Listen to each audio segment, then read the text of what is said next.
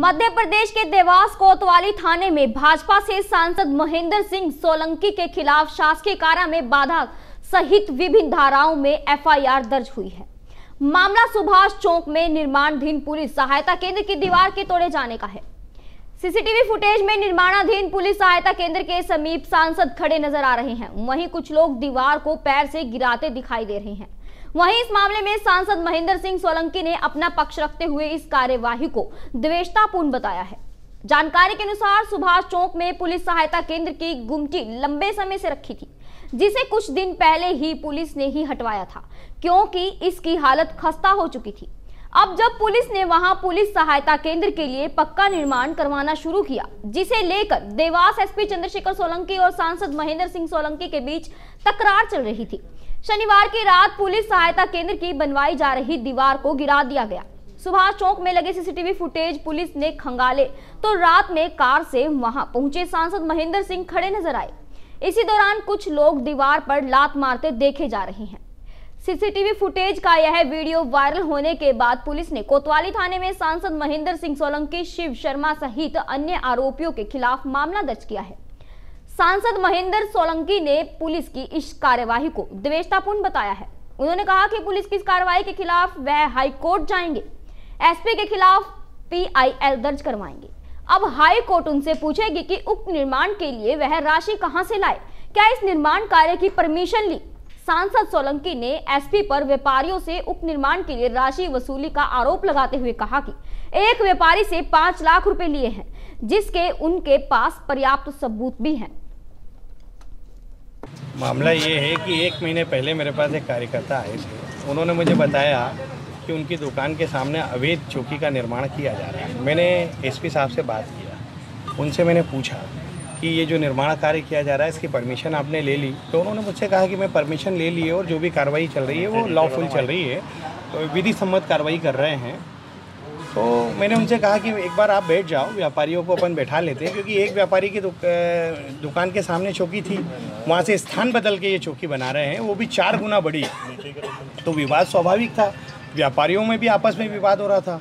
तो मैंने टी मैंने एस साहब से कहा था कि आप आ जाओ अपन बैठ जाते हैं व्यापारियों को बुला लेते हैं और इस मामले को निपटा लेते हैं। इसके बाद फिर उन्होंने मेरा फ़ोन उठाना बंद कर दिया। चौबीस तारीख को मैंने उनको पाँच बार फ़ोन लगाया, उन्होंने मेरा फ़ोन नहीं उठाया। मैंने पच्चीस को भी फ़ोन लगाया, फिर एक तारीख को फ़ोन लगाया।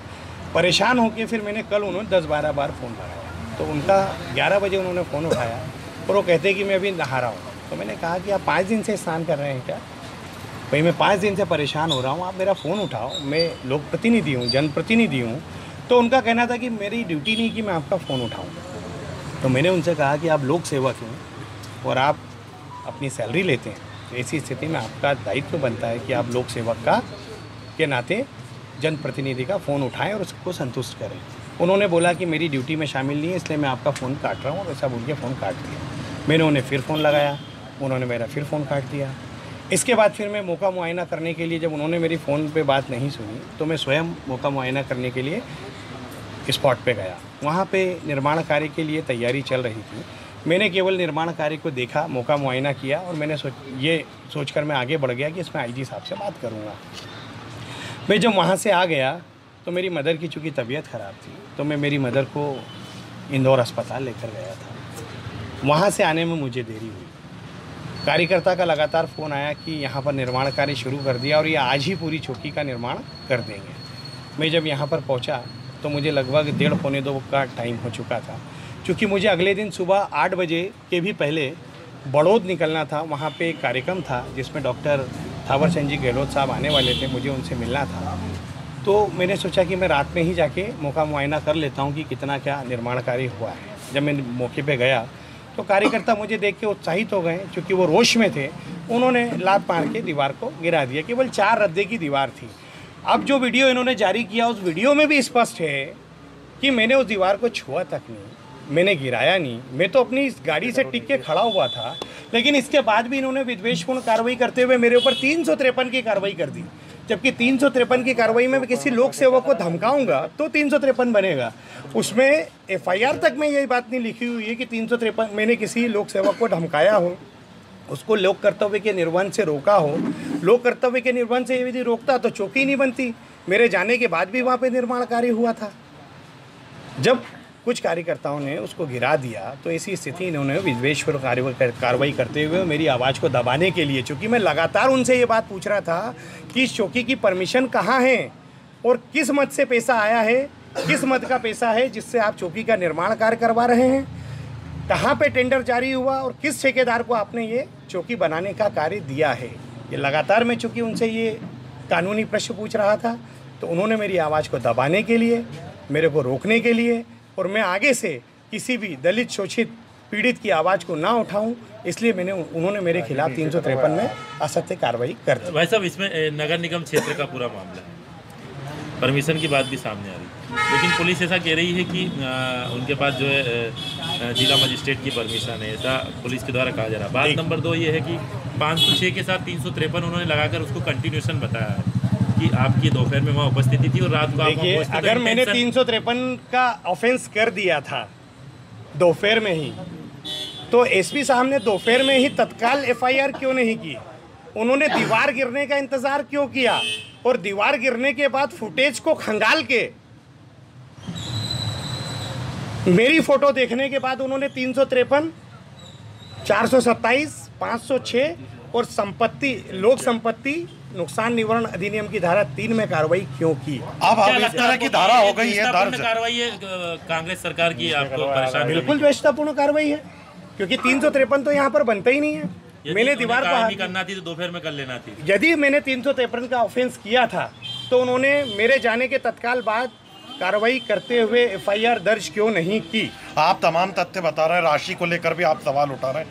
अगला एक्शन क्या होगा? अगला एक्शन ये होगा कि मैं हाईकोर्ट जाऊँगा और जिला प्रशासन के खिलाफ और एसपी के खिलाफ पीआईएल दर्ज दर्ज करवाऊँगा और हाईकोर्ट इनसे पूछेगा कि आप ये परमिशन कहाँ से लेकर आए हैं और वो जो निर्माण कार्य आपने किया है उसकी राशि आप कहाँ से लेके आए और किससे वसूल किए? क्योंकि व्यापारियों के फ़ोन मेरे पास लगातार आ रहे हैं। ये व्यापारियों से इस प्रकार के अवैध निर्माण करने के लिए व्यापारियों पे दबाव बना रहे हैं। और आपके आदरणीय एसपी साहब ने पाँच लाख रुपया एक व्यापारी से इस चौकी के निर्माण कार्य के लिए ले भी चुके हैं। आपका आरोप है सीधा। आरोप नहीं है ये मैं सबूत के साथ बता सकता हूँ। पुलिस सहायता केंद्र के समय आने पर। इस बात का भी खुलासा किया जाएगा कि किससे पाँच लाख रुपये एसपी साहब ने लिया। अच्छा एक अहम सवाल है अब चूँकि धाराएँ दर्ज हो गई मामला दर्ज हो गया प्रकरण हो गया कल जो है एक बीजेपी का आंदोलन है। जो किसान आंदोलन क्या आप उपस्थित होंगे? आपके नेतृत्व में भारतीय जनता पार्टी का कार्यकर्ता हूँ और हर ज़ोर जुर्म की टक्कर में संघर्ष हमारा नारा है। हम गाँव गरीब मजदूर किसान दलित और शोषितों के लिए काम करने वाले कार्यकर्ता हैं। इस प्रकार की अगर झूठी कार्रवाई हम पे हो जाती है तो इसका मतलब ये नहीं कि गाँव गरीब मजदूर किसान और दलित शोषित की आवाज़ उठाना भारतीय जनता पार्टी का कार्यकर्ता बंद कर दे। भारतीय जनता पार्टी का कार्यकर्ता इनकी अन्यायपूर्ण नीति के खिलाफ लगातार लड़ता रहेगा और भारतीय जनता पार्टी का कार्यकर्ता के नाते महेंद्र सोलंकी कल ग्यारह बजे किसान आक्रोश रैली में शामिल होगा। और इनके खिलाफ आंदोलन अच्छा, करेगा। एक और अहम सवाल यहाँ बनता है भाई साहब क्योंकि आपका आप सांसद विशेषाधिकार भी बनता है आपका लोकसभा लोकसभा में। पुलिस तैयारी कर रही है कि राज्य सरकार से लेकर लोकसभा स्पीकर को ये पूरे घटनाक्रम की वो पत्र के माध्यम से बिल्कुल जानकारी दें। तो आप अपना अपना पक्ष किस तरह से रखेंगे लोकसभा स्पीकर के सामने? देखिए लोकसभा स्पीकर साहब को मैं यदि मेरे से पूछा जाएगा बातचीत हुई मेरी कोई बातचीत नहीं हुई। यदि पूछा जाएगा तो मैं अपना जो भी पक्ष होता है मैं पूरी तरह से रखूँगा मेरे ऊपर असत्य कार्रवाई की है। एक सामान्य व्यक्ति को भी अगर वीडियो दिखा के पूछा जाए कि महेंद्र सोलंकी ने दीवार तोड़ी है या नहीं तो जवाब नहीं में आएगा। ठीक है ठीक धन्यवाद। क्योंकि निर्माणाधीन हो रही थी और दीवार तोड़ने का एक गंभीर मामला सामने आया था। क्या पूरा मामला है और कैसे पुलिस आरोपियों तक पहुँची? कल ये विषय कल से चल रहा था। इसमें जहाँ सुभाष चौक देवास ज़िले का एक अत्यंत संवेदनशील क्षेत्र है। और जैसा कि आप सब जानते हैं, मध्य प्रदेश का देवास जिला पूर्व में भी कई प्रकार से सांप्रदायिक तनाव की दौर से गुजरा है। इस देवास ज़िले के महत्वपूर्ण व्यापारिक प्रतिष्ठानों के मध्य में सुभाष चौक पर एक पुलिस सहायता केंद्र स्थापित था, जो जीर्ण अवस्था में था।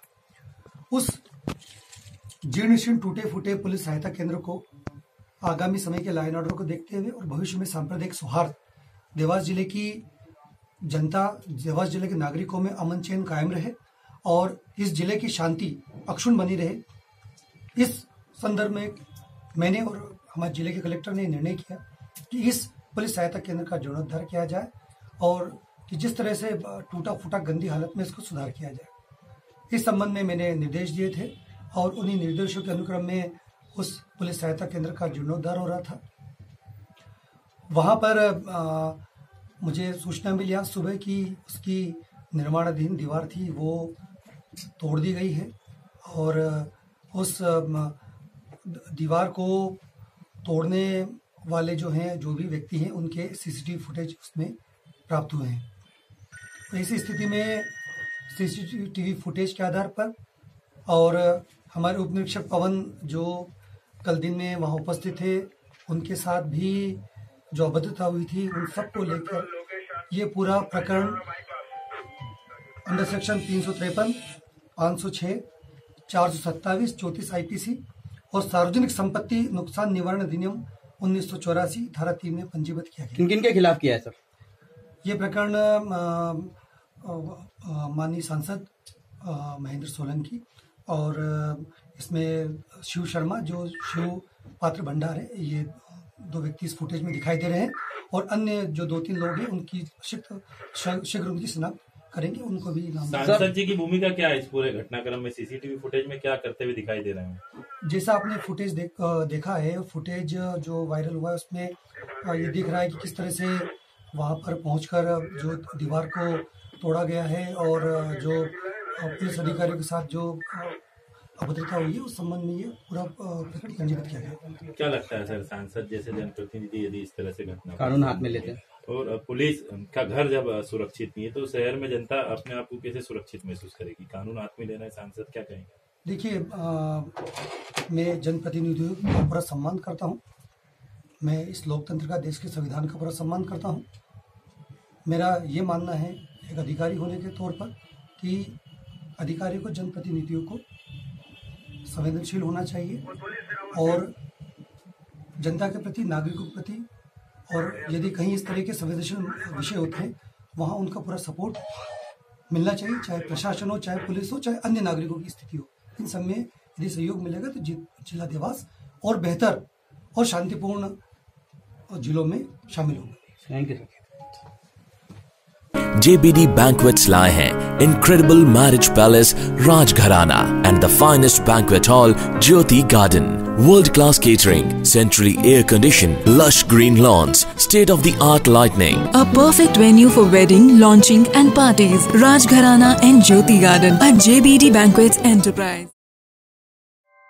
ऐसे ही लेटेस्ट खबरें पाने के लिए बेल आइकन को क्लिक कर हमारे चैनल को लाइक शेयर एंड सब्सक्राइब करें धन्यवाद।